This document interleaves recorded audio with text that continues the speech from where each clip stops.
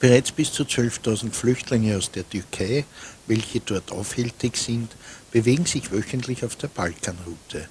Dazu kommen weitere Flüchtlingsströme, 900 aus Griechenland und 500 aus Bosnien auf der Südroute, erklärte Burgenlands Landeshauptmann Stellvertreter und Sicherheitslandesrat Johann Schürz im Zuge einer Pressekonferenz in Eisenstadt. So, ich möchte Sie zur Pressekonferenz begrüßen. Sehr geehrter Herr Klubobmann, ähm, die heutige Pressekonferenz ähm, ist deshalb aus meiner Sicht äh, sehr wichtig, weil es äh, natürlich derzeit wieder eine enorme Bewegung an der Balkanroute gibt. Diese Bewegung ist erkennbar und der Wochenfluss wird immer mehr und mehr. Also der Wochenfluss durch die Balkanroute wird immer mehr. Bereits bis zu 12.000 Flüchtlinge aus der Türkei, welche dort aufhältig sind, äh, bewegen sich wöchentlich auf der Balkanroute. Das heißt, diese Balkanroute ist nicht geschlossen, sondern die Balkanroute wird jetzt so richtig aktiv. Und 900 aus Griechenland und 500 aus Bosnien äh, sind derzeit so im Wochenfluss auf der Südroute unten unterwegs, die sich aber dann natürlich auch mündet. Und das Burgenland ist natürlich besonders betroffen. Wenn man die Vergleichszahlen jetzt hernimmt zum ersten Halbjahr 2018 kamen insgesamt, also insgesamt 906 Flüchtlinge im Burgenland an und 2019 waren es bereits im ersten Halbjahr 538. Das heißt, ähm, es wird wahrscheinlich heuer wieder das Doppelte sein. Also jetzt sind, an, sind angehend schon so viel im ersten Halbjahr wie 2018 das ganze Jahr. Und vor allem der Wochendurchfluss erhöht sich ständig und ständig. 80 Prozent davon kommen übers in Nordburgenland an, 24 Prozent im Mittelburgenland und 16 Prozent im Südburgenland. Und ähm, bemerkenswert ist auch, dass immer mehr Flüchtlinge, welche nach Bosnien durchgekommen sind, jetzt seit über 30.000, äh, wollen weiter nach Österreich.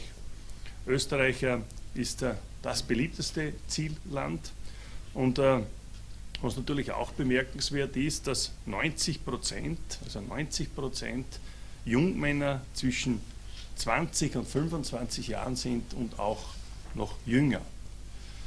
Dramatisch ist natürlich, dass bereits äh, es 681 Todesopfer, also 2019 im Mittelmeer gegeben hat. Daher ist aus meiner Sicht die EU-Asylpolitik Asylpolitik wirklich schärfstens zu verurteilen. Es müsste klar zum Ausdruck, Ausdruck gebracht werden, dass zukünftig alles für die Rettung getan wird und alle Flüchtlinge wieder zurückgebracht werden. Das heißt, es hat deshalb einen Sinn, weil dadurch natürlich die Schlepperkriminalität massiv bekämpft werden könnte. Das heißt, zurück in das Heimatland. Dort im Heimatland können Sie einen Asylantrag stellen. Ich glaube, das ist das Wichtigste überhaupt. Denn wenn es bis dato 681 Todesopfer gegeben hat, dann muss man klar festlegen, dass alle, die gerettet werden, wieder in ihr Heimatland zurückgebracht werden wo sie dort die Möglichkeit haben, einen entsprechenden Asylantrag zu stellen. Und wenn das die EU sozusagen in der nächsten Zeit nicht zustande bringt, dann glaube ich, wird es äh, immer dramatischer werden. Die Schlepperkriminalität muss bekämpft werden. Wenn wir uns ganz ehrlich sind, sind das in Wahrheit Mörder auf Raten. Nicht nur diese Lkw im Burgenland, sondern wenn man diese vielen Todesopfer hier sieht, dann ist das wirklich, wirklich äh, haaresträubend. Ja, ähm, noch mehr ernst und kritisch wäre die Asylanerkennung von Klimaflüchtlingen. Ähm, denn die Genfer Flüchtlingskonvention hat äh, diese Klimaflüchtlinge noch nicht anerkannt. Aber wenn es hier zur Anerkennung kommt, weil ja der Klimawandel derzeit im großen Gespräch ist, dann hätte das natürlich folgenschwere Auswirkungen. Es würde die Flüchtlingswelle massiver sich wieder bewegen. Daher äh, darf es keine Anerkennung von Klimaflüchtlingen geben. Das wäre fatal. Wichtig ist, dass man vor Ort hilft. Das ist wichtiger denn je. Und vor Ort zu helfen kann man sehr, sehr gut. Mit Wasseraufbereitungsanlagen, mit Lebensmittelanbauhilfen, mit ärztlicher Versorgung oder auch mit Unterstützung beim Eigenheimbau. Das heißt, Vororthilfe ist wichtig, den Klimaschutz heranzuziehen, um hier eine Anerkennung für Asyl äh, zu gewähren, wäre wirklich fatal. Denn äh, Faktum ist natürlich, und wenn man das mit Zahlen vergleicht, wenn ich ein Fußballstadion habe, wo 20.000 Personen einpassen, wird es ein Problem geben, wenn ich 40.000 in dieses Stadion bringen möchte, denn dann werden die 20.000 genauso gefährdet sein wie die anderen 20.000. Das heißt, die Vorortregelung ist massiv wichtig. Ähm, daher muss es aus österreichischer Sicht ein klares Nein geben. Die Tendenzen sprechen dafür. Aber wie gesagt, diesen Klimawandel dazu hernehmen, ist aus meiner Sicht völlig falsch. Den Klimawandel hat es immer schon gegeben. Und äh, jetzt äh, sofort äh, hier die Asylanerkennung zu gewährleisten, wäre wirklich fatal. Denn wenn es auch einen Klimawandel gibt, dann wird es den geben. Ob das in 300 Jahren ist oder 400 Jahren oder 500 Jahren, es hat doch schon eine Eiszeit gegeben. Und der Klimawandel an und für sich selbst ist nicht zu stoppen, auch wenn man hier äh, diese Klimaflüchtlinge als Asyl anerkennt. Es würde eines passieren, dass Millionen über Millionen über Millionen sofort nach Europa kommen würden. Ja, das heißt, unter dem Deckmantel des Klimawandels darf es keine unaufhörliche Flüchtlingswelle geben. Und ähm, daher äh, fordern wir Freiheitlichen, und das empfehle ich auch, äh, äh, im Hinblick auf eine mögliche Regierungsbeteiligung, dass es ohne einen freiheitlichen Innenminister keine Regierungsbeteiligung geben darf und dass es keine Asylanerkennung für Klimaflüchtlinge Flüchtlinge geben darf. Wir wissen alle, dass äh, sofort nachdem der Innenminister sozusagen aus irgendeinem Grund auch immer entlassen wurde. Niemand kann diesen Grund auch sagen. Niemand hat irgendwelche Gründe, um diesen Grund zu begründen, ähm, dass ähm, diese Ausreisezentren wieder umbenannt wurden, der Medienlass, äh, wo die Transparenz des Herkunftslandes der Täters äh, auch sichtbar gemacht worden wäre, ist zurückgenommen worden. Und die Handeauswertung und so weiter und so fort. Das heißt, äh, hier glaube ich, ist es besonders wichtig, dass man auch natürlich hier glasklar sagt, äh, dass äh, das Innenministerium in freiheitlicher Hand dafür gesorgt hat, dass das Österreich, dass Österreich viel sicherer ist.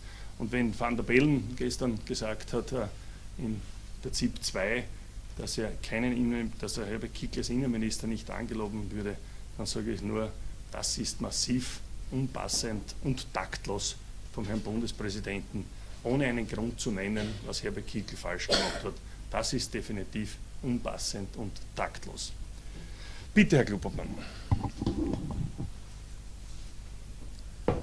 Vielen Dank, Herr Landeshauptmann Stellvertreter, meine Damen und Herren. All jene, die geglaubt haben, das Jahr 2015 und die Entwicklungen, die wir damals erlebt haben, wären ein heilsamer Schock gewesen, werden derzeit eines Besseren belehrt. Wir erleben aktuell Diskussionen und politische Ansätze, von denen wir eigentlich äh, gemeint haben, dass wir sie überwunden hätten. Im Jahr 2015 hat jemand gesagt, wir schaffen das und hat damit eine riesengroße Migrationswelle ausgelöst, weil man diese Ansage in weiten Teilen der Welt als Einladung verstanden hat. Wenn man jetzt angesichts der Entwicklungen im Mittelmeer und auf der Balkanroute vollkommen unpassend von Seenotrettung spricht und äh, schon wieder über die Verteilung von illegalen Migranten über halb Europa diskutiert, dann ist das nichts anderes. Auch das wird man als Einladung auffassen. Wenn jemand wenige Kilometer vor der afrikanischen Küste von einem Schlauchboot äh, geholt wird, um ihn hunderte Kilometer nach Europa zu bringen, dann ist das keine Rettung, dann ist das Schlepperei. Wenn man dann auch noch europäische Staaten in der Pflicht sieht, diese illegalen Migranten aufzunehmen, dann kann man nur festhalten, dass da die rechtliche Lage vollkommen verkannt wird und es ist ja im wahrsten Sinne des Wortes pervers, äh, wie da derzeit argumentiert wird und was da derzeit behauptet äh, wird. Äh, auch ich selbst habe das zwischendurch, war wahrscheinlich etwas naiv, nicht mehr für notwendig gehalten, aber ich glaube, man muss wieder einmal an die elementaren rechtlichen Grundsätze erinnern. Der Herr Landeshauptmann Stellvertreter hat es gesagt. Asyl ist Schutz vor individueller Verfolgung auf Zeit, äh, vor Verfolgung aufgrund der Rasse, der politischen oder auch der religiösen Überzeugung. wirtschaftliche Not ist kein Asylgrund, Klimawandel ist kein Asylgrund äh, oder auch Krieg ist kein Asylgrund. Ganz wesentlich ist, dass jemand, der individuell verfolgt wird oder eine derartige Verfolgung behauptet, rechtlich verpflichtet ist, den nächsten sicheren Staat anzusteuern, um sich dann dort unverzüglich den Behörden zu stellen. Das heißt, unterm Strich, Europa ist für Afrikaner oder auch Asiaten nicht zuständig und Österreich schon gar nicht.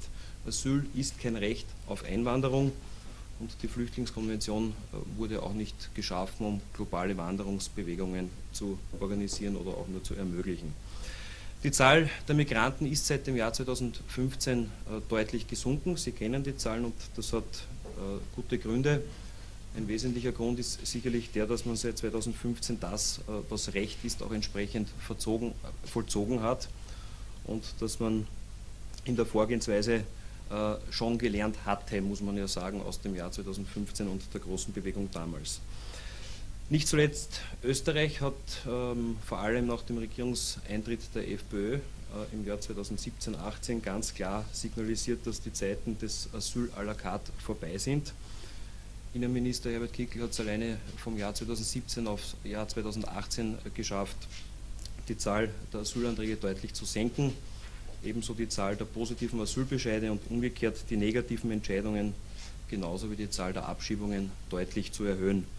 Das wurde in den Herkunftsländern wahrgenommen und das ist ja auch ein Grund dafür, dass die Zahlen zwischenzeitlich zurückgegangen sind. Jetzt besteht die Gefahr im Gegenteil. Die Toleranz für die Schlepperei im Mittelmeer oder auch die Diskussionen über die Verteilung von Migranten in Europa kommen neuerlich einer Einladung gleich.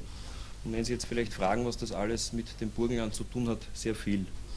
Wer einmal den Boden der Europäischen Union betreten hat, der darf sich dann in weiterer Folge recht bald frei auf EU-Boden äh, bewegen und wohin Migranten wollen, das wissen wir aus der Vergangenheit. Äh, das sind vor allem Länder mit einem gut ausgebauten Sozialsystem wie etwa Österreich.